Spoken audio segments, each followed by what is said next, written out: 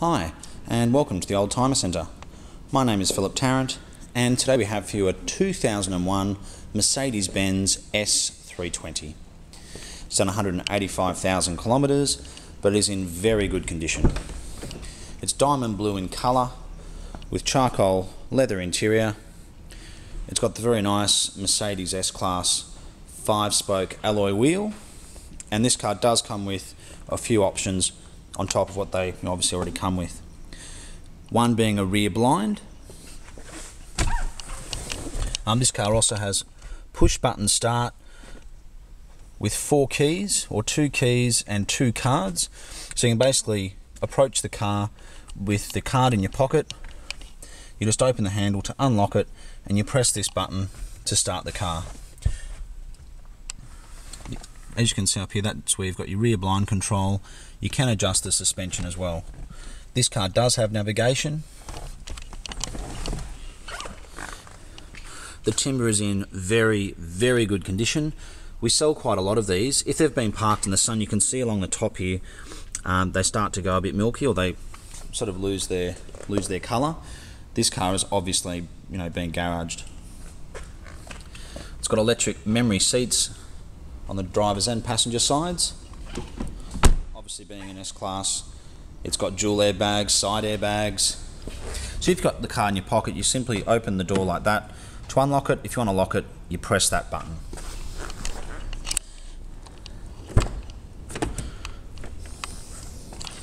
The back seat doesn't look like it's ever been sat in. There's your rear blind.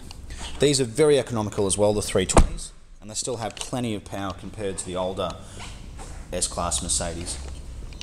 I think at the moment for the past couple of thousand kilometres, this car has actually averaged 13.2 litres per 100 kilometres, which is fantastic. You've got plenty of room in the boot. It's got your spare tyre and all your tools and everything, which is great. It's even got your warning triangle. The car does look to be in very, very good condition. There's maybe just a couple of, maybe two little dents around the whole car, which is pretty good for its age.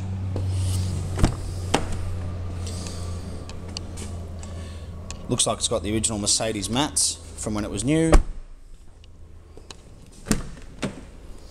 Uh, this car also has automatic headlights. It's got a multi-function steering wheel.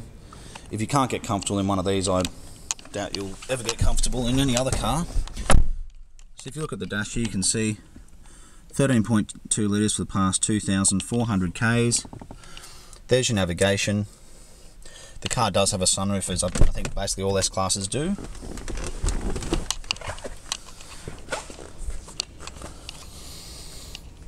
They do have a double glazed window as well, which is great for insulation and you can't hear anything from outside. Here's all the keys. So as you can see, you've got two cards, two keys.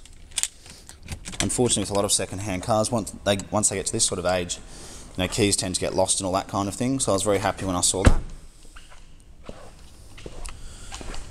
Um, and I think I may have mentioned before, it does have front and rear parking sensors as standard on these.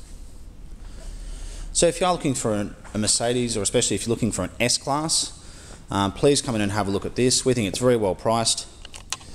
You know, it's got a pretty good service history to it. The car's in good condition. I think it's a very nice colour combination. And I have driven it, and I've driven a lot of these, and this car does drive very, very well. So look, we're the Oldtimer Centre.